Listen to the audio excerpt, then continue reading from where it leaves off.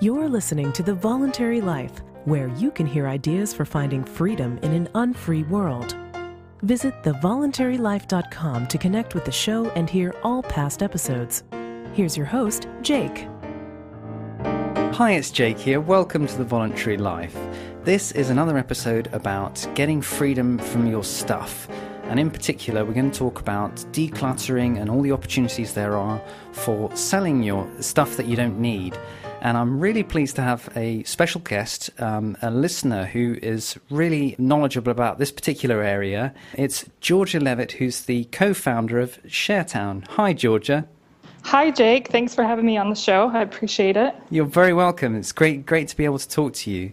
I wonder if we could start off maybe just by talking about a little bit about you. Um, could you say a little bit about how you got interested in, in this topic and and how it relates to to the business that you're involved with? Sure. Um, my background is in internet marketing, and I've done that for years. And uh, about four or five years ago, I decided to become an entrepreneur and work for myself. And in that process, I discovered working from home that I had a lot of assets in my house that I could convert into cash that would be a job for me why I was starting my own business. So right. my yeah, my husband has always lived by a very minimalist uh, lifestyle. So it wasn't hard for him to say to get on board and say, yeah, let's sell our stuff. And so in the in the U.S., most people, at least where I live in Las Vegas, most people use Craigslist. Right. And so I got online and I pretty much sold everything, like anything excess. Um, and this allowed me to stay home um, to start my career to be with my children. I have four children. Right. And uh, but it kind of gave me some flexibility and and uh, and it was a great way to bring in extra income while I was doing my own business. And you know what I really noticed is as I did this, um, I felt freer. I didn't wasn't bogged by down by things that I owned, trying to get things repaired, or uh, trying to find a place to fit it to store it while I wasn't using it. Right. And you know, really, it was amazing to me because I had never lived very minimalist up to this point. Um, the I was looking at it from a financial point of view, mm. but but really uh, just the lifestyle, how much it freed us up. I was amazed by, you know, being able to park both our cars in the garage. right, right. not, yeah. not every American can do that. So, um, I, you know, I really took pride in that. That we had, you know, a place for all of our stuff. There wasn't anything just lingering around. If it didn't have a place, then we didn't need it. And uh, we've continued to do that probably even more in the last uh, probably in the last year we've we've recommitted ourselves to that and uh, you know I, I, see immense benefits. Right right. Absolutely. Well i'm i'm i'm also in the process at the moment of kind of selling everything that isn't nailed down basically and find, yes. finding it really liberating. And it's really interesting to hear that you're doing that also with four kids because because uh, i think a lot of people experience you know having kids that that also you know can lead to even more stuff kind of accumulating. Yes. um, do you find that this is something that you think is unusual compared to um, sort of other friends and, and, and people with kids Yes, I I can't even tell you how many times people have come into my home and say, "Man, your your house is so clean. How do you do this with four children?" And you know, in honesty, my house isn't so clean. It's just not cluttered. Right. And it's it's amazing to me that you know if if I have an unexpected guest, I'm not worried because they come into my home and it's going to be somewhat orderly. You know, my floor might not be mopped, mm. but but I know that I won't have junk lying around. And for my children, um, they're just taught at a young age that if they take something out, they put it away. And if they don't have a place for it, then we don't need it. So most of the stuff we get is from, you know, birthday parties and Christmas from grandma and grandpa. And once they use it up or stop using it, we sell it or we give it away. Um, so we don't have we don't store extra things that they aren't using. We Right. keep their fa- we keep their favorite toys. Um, but the good thing about it that I find very liberating is if they break something, I have no hesitation in throwing it away. I don't feel remorse because normally I haven't even purchased the item. Right. I don't put money into it. Um, so it's usually a gift. And my kids, I hope that they're gaining a sense of um, whatever the opposite of being spoiled is. They don't have excess in toys or clothing. I mean, they have just the right amount. They're Right, definitely right. they definitely don't lack anything. There's nothing that they need, but they don't. You know, every time we go to the store, we don't buy them something. Um, we go to the store when they need something, and uh, when they grow out of something, we give it away or we sell it. Absolutely. So, for somebody who's interested in this and, and thinking about like the benefits, both in terms of getting um, some income, like in your case, when you're starting a business, looking at you know really how you can make sure that you have give yourself as much of a buffer to, to, to start your business with, and also if people want to get the freedom from not having clutter around, if they've got um, a garage full of stuff or an attic with boxes in it and you know their their shelves are overflowing and, and so forth what what would you can you give any thoughts about you know how how you even go about getting started with this and, and what what a good way to approach this is Um, something that I've always used as a rule of thumb if I haven't used it within the last year, I am not going to miss it. It's not, you know, my husband, who is notorious for throwing things away, um, he is often asked, Well, don't you miss stuff? And he goes, In, in his whole lifetime, he probably has regretted throwing something away twice. right And uh, you know, really and honestly, how many of us have actually just lost something because we have so much stuff that we don't even know where it is if we went to go look for it. Um, so normally, my rule of thumb is if I haven't used it in a year, whether it's clothing or a toy, you know, like a toy of some sort, or um, just anything that you know in my kitchen. If I haven't been using it within the last year, it's probably not fitting in my lifestyle currently. And if I can easily replace it, um, you know, so I have a few things that I wouldn't throw away, like um, my, dishes my grandmother gave me. Um, I, I put them in a special spot, but they are special, and I have a place for them. And because they are special, I feel totally fine about them taking up space. But I don't hold on to a lot of other things. I don't collect anything. Um, I, t- I tell people, well, I collect money. That's pretty much it. But Right. I, I can find a place for that easy. Um, but as far as having some t- sort of um, collections or items, you know, I have one bin in my garage for holidays. Um, we try to keep whatever we're doing for the holiday new and exciting, and so I might buy something new for the holiday. Um, but usually, it's something that is disposable, either because it's something like organic, like um, fresh wreaths or fresh garland, something like that. Right. Um, versus storing something because to me it doesn't make any sense to buy something and then to keep it in my garage for one one time a year I think that's a great rule. I, I having been traveling for seven and a half months and realizing that I really didn't miss stuff when I was away. That that's one of the things that uh, that got me thinking about.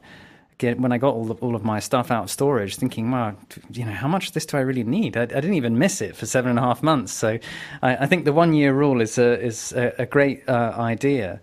And so, when looking at sort of trying to um, sell stuff that is just taking up space and taking up clutter. Obviously, um, you mentioned Craigslist, and then there's uh, eBay and Amazon and other sites. What are your thoughts on you know which which sites are best for which types of things? Do you do you have any um, kind of preferences for what you try and get rid of through different different approaches?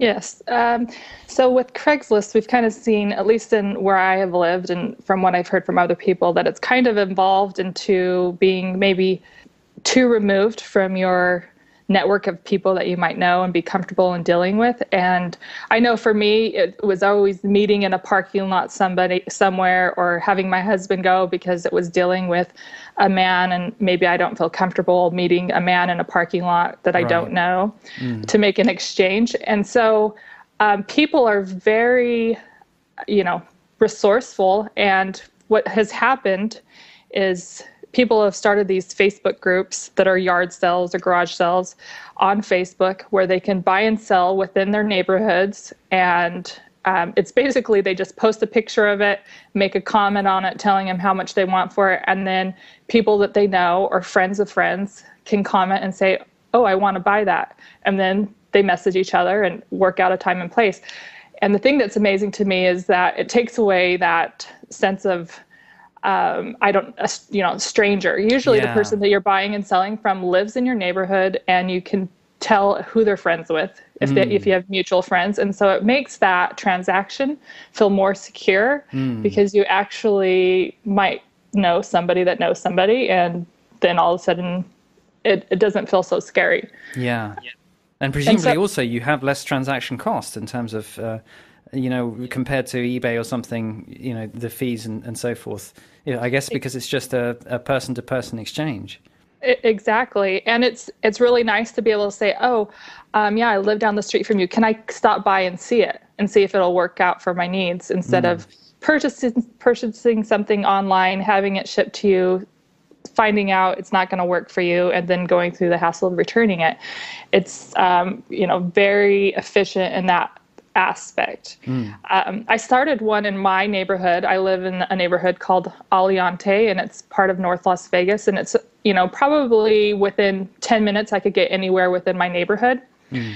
um, so that's very efficient and there's about a little over 2000 people that are part of my group and which I, what I love about it is that they're all either people I know or friends of friends. Mm. And so I feel like it's a very connected community and that we're able to, you know, buy and sell very openly and honestly with, you know, maybe there's issues with it, you know, maybe you can fix this item or I might buy something, use it and then resell it because I don't really want to own it but if I buy it and use it for whatever I need, I bought some stuff for a party that I was hosting, and then I was able to turn around and resell it after the party was over to somebody else that could use it. So it's a fraction of the cost as, as if I had gone out and bought something new mm. and then had to figure out a place to store it in case maybe I had a party again someday.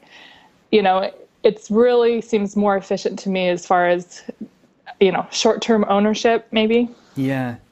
That's really interesting, and I definitely see where you're coming from the short-term ownership. But just talking about uh, using Facebook and using um, social networks like that, I actually was quite surprised reading people who travel a lot um, and who write about how to sell all your stuff before you go um, uh, long-term traveling.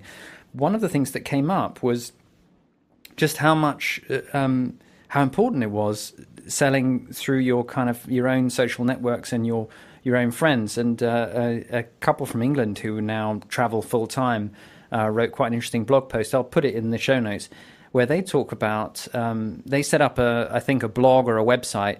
Um, and they expected to to sell a few things to their friends and their sort of friends of friends, and, and it actually turned out to be just as important to them as eBay and and sort of the other um, sites. And so, and um, what I'm hearing from you is also that you're finding that the local sort of community person to person type selling is now with social media quite an effective way of getting rid of your stuff. Yeah, exactly. We've had some interesting things happen in the group recently with selling of cars. Um, we've had three different cars sell within the last month, and um, two of them were close friends of mine, and they both commented. Like one sold it within one day. Wow. Um, and the other one said that they had tried several other outlets, but it was within this group that they were able to sell it. And another one commented and said, uh, told me um, it was a friend of theirs that bought it, but their friend had no clue that they were selling it, even though they might have interacted offline until they had posted it online. Oh, you're selling your car? Yeah, I want it.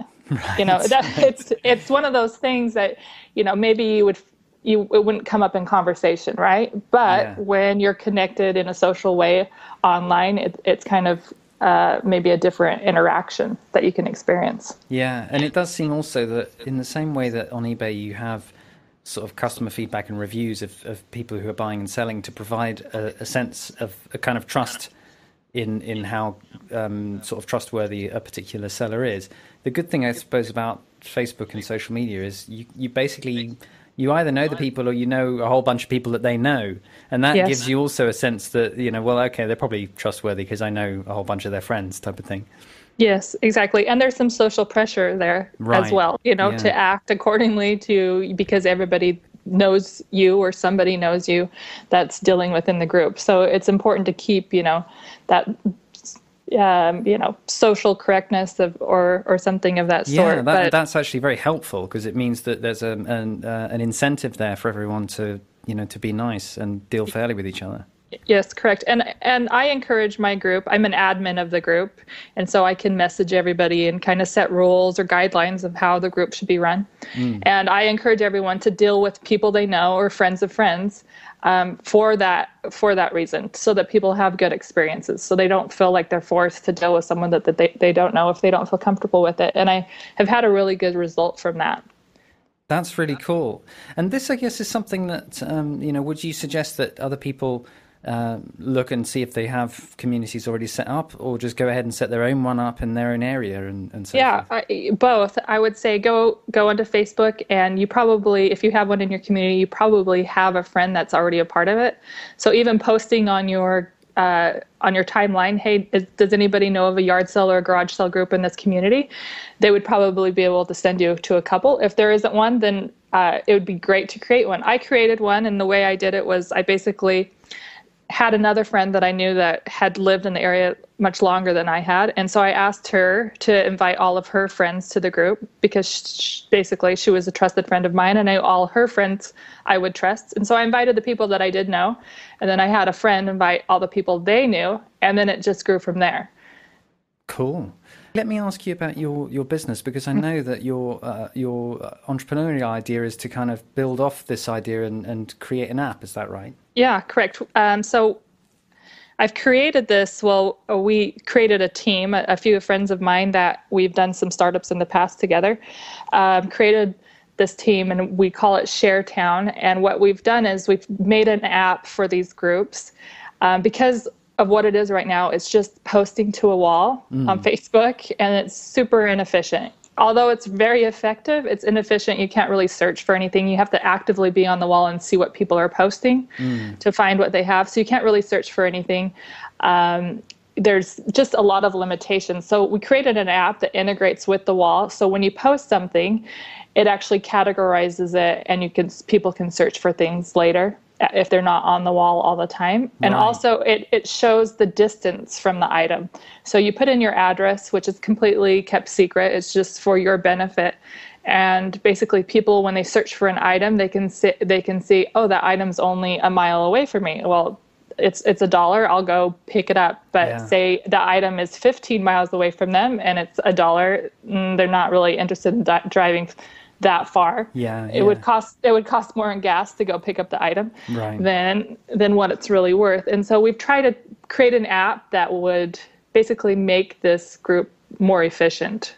That's really cool. And is this app um, currently available and released? Um, right now, I just have it with for two groups, two groups in Las Vegas. But within this week, we're planning on releasing it to all groups. We wanted to make sure that we worked out any bugs within our groups that we currently already are at, um, admins for, and so uh, it's gone really well. It's been really well accepted, and uh, people are telling me how much they love it because of the efficiency. And so we're going to hopefully this week or next week we'll make it available to any group that wants to use it. Basically, a free app that you can use to make your experience more efficient in buying and selling. Awesome. Well, I'll make sure that I put it in the show notes. And, uh, and is there a website that people uh, should go to to yeah. find out more information? Yeah, if you go to sharetown.com, right. you're able to you're able to uh, basically ac- access the um, the app, the Facebook app, and be able to find any groups that uh, you are part of, you can add it to your app. Cool. Great. Well, I, I think that's that sounds really interesting, and uh, and uh, I really wish you good luck with uh, going forward with that. Um, to just to come back to sort of things that people can do, do you still find beyond the social side, which you know you've obviously found a lot of opportunities there within community selling? Do you still find a role for things like eBay and and Amazon and so forth? Like, do you for for just selling stuff? Sure. You know, there's there's definitely specialty groups out there. that you might not be able to find something um, that you're trying to buy and in reverse sell. So you mm. might have some specialty items. Uh, my husband's a Star Wars collector, and so when he went to sell some of his Star Wars figures, you know, you can't really sell them locally mm. because mm. it's maybe difficult to find someone that's looking for a specific item. So I think for maybe broader um, areas that you're looking to sell, maybe more specialty items, I think there's you know definitely a place for it mm. for sure. Mm. And what are your views of the advantages and disadvantages of uh, of, of, the different ones around? Because it seems to me that you know Amazon's really most useful for getting rid of things like um, books and DVDs and mm-hmm. very sort of very clear specific items that are already all of the information's already listed in there. Whereas eBay, you know, maybe more for kind of secondhand uh, clothes and, and things like that. Yeah, I, I totally agree. I what what's been interesting because of these uh, Facebook groups that I've been able to notice. And um, we've also been able to really like survey the groups, ask them questions, ask what they like, what they don't like, what they wish could be improved in the groups. And, you know, there's the basic demographic of these groups are people like me, um, stay at home moms, or, um, you know, people that have are on social media and so there's a lot of clothing that's being sold and a lot of children's items, you know, things that basically people my age um, or in my demographic would use. Mm. And so I see the benefit of that, you know, basically going there and because it would be a very quick and easy and seamless sell to be able to just post it on there, have a neighbor come pick it up. But mm. there's going to be, you know, things like uh, maybe books or something that might not sell so well. So Amazon and like the whole, I know that you have been talking about getting rid of your uh, CDs. Yeah. And, you know, th- there's a place that you could sell everything as a lot, right? You could mm. just sell your group of, of uh, your collection. And that's something that I see done a lot is selling things as a collection or as a group because it's much more efficient mm. than going on and listing each item individually. Right.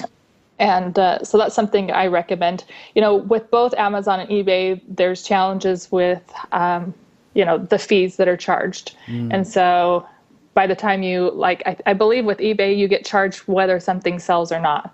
And so yeah, if it's know. not a zero insertion, they have zero insertion weekends where you get, but you have to um, set the price at uh, really low in order to to do that and so forth. So yeah, it really is interesting hearing about the the sort of the the way that you've uh, managed to get so much out of local community selling because uh, it's definitely, I think, something that's now much more of an opportunity. Yeah. And I wonder if you, you know, just looking at the the whole process uh, for someone who's thinking about doing this, on the financial side, in terms of, I guess the question like, is it worth it, and and uh, is it worth decluttering? And I, I think for me, certainly uh, so far, it's absolutely worth it because both because of the you know, the opportunity to really ma- maximize the your financial freedom and make sure you don't have stuff that you just don't need, and also for the reason that you mentioned that you just have a much greater sense of freedom.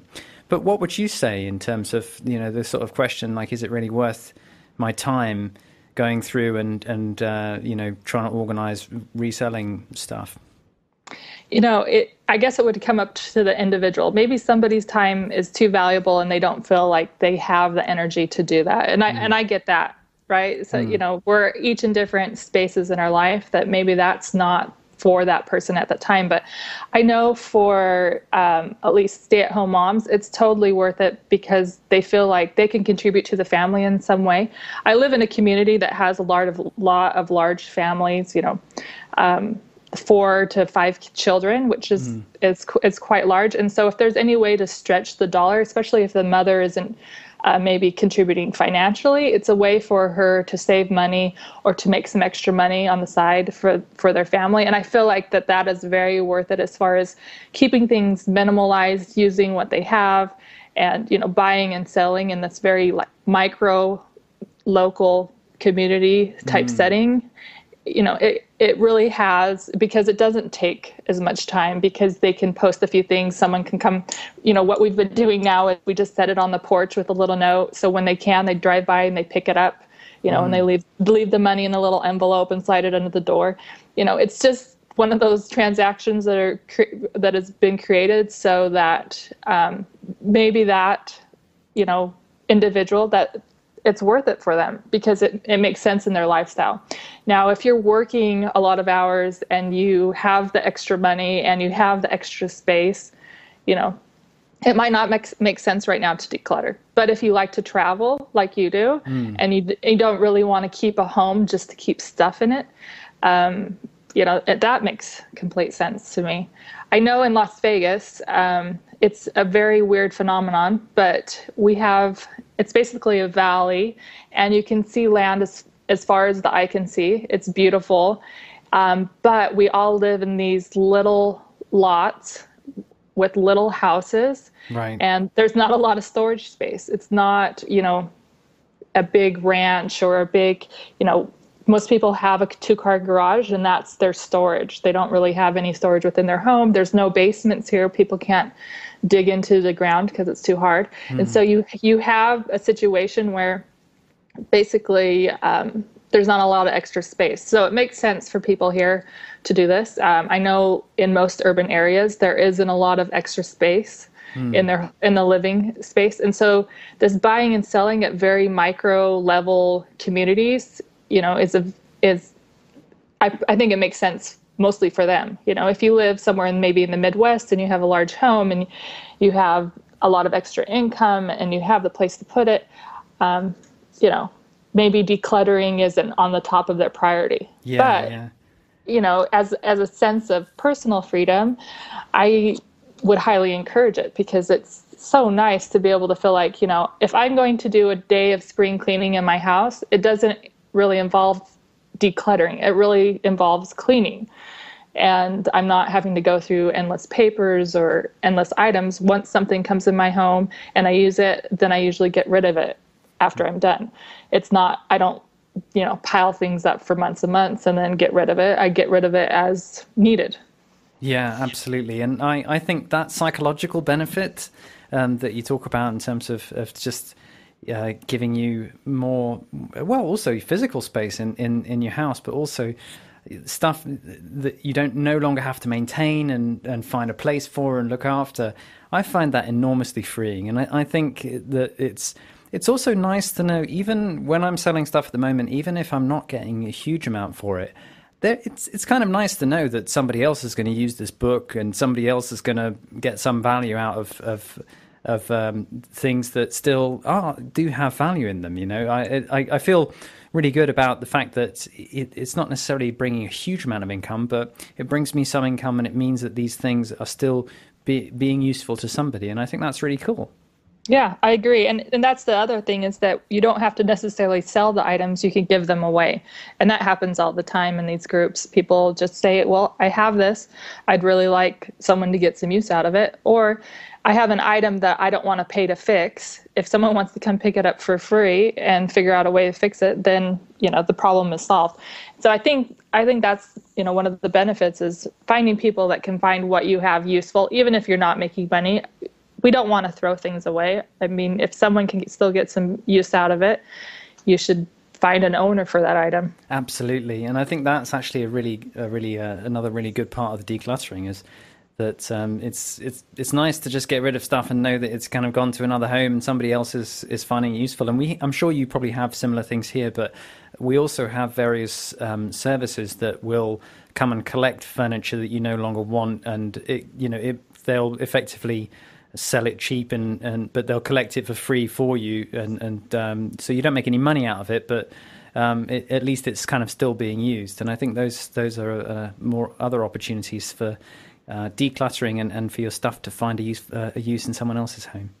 Yeah, correct. Uh, we have um, you know little businesses that that thrive off of that. And basically, if you don't feel like going through the process of selling all of your items, you can put them all in your vehicle and drive them down there and drop them off. And, you know, they're able to sustain a business and hire people and people that might not be able to afford something new can go there and get a good quality item. You know, I think there's a lot of avenues that people can use to feel good about decluttering. Not only are they getting it out of their home, but they're helping other people. And I and I think that is a great feeling that you can have too of serving your community.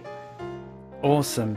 Well, thank you so much. I think that's uh, really helpful and, and gives people uh, lots of ideas to, to get going. Um, so, once again, your website is sharetown.com, is that right? Cor- correct, yes. Perfect. Thanks so much for being on the show, Jorja. Thanks so much, Jake. I appreciate it. Thank you for listening to The Voluntary Life. If you have feedback about the show, please email jake at thevoluntarylife.com. If you enjoyed this program, please share the podcast with your friends or click the donate button on thevoluntarylife.com.